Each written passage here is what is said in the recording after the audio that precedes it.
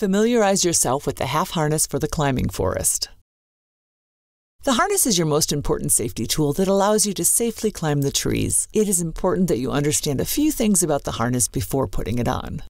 The half harness is used for anyone over 90 pounds that is using our climbing forest activity. These harnesses are much more simplified, and they do not have any equipment attached to them until you are climbing in the park.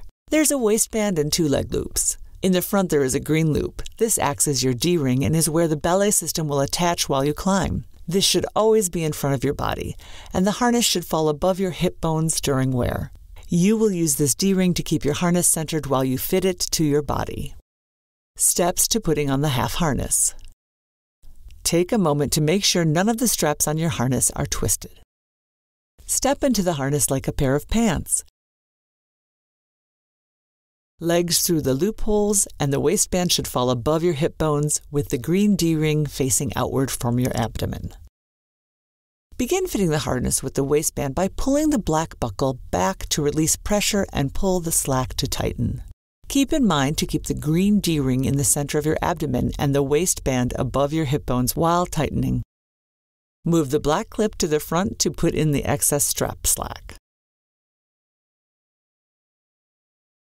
Next, tighten your leg straps by pulling back on the black buckle to release pressure and pull the slack to tighten. A little on each side at a time to ensure evenness. The leg straps do not need to be overly tightened, just comfortable for walking to start.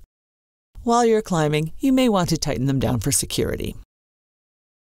Check the fit of the half harness.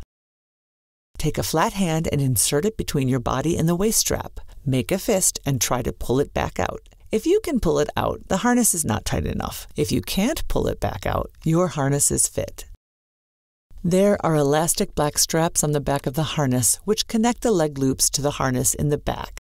Tighten this down by pulling on the slack to your comfort level to help keep the harness in place.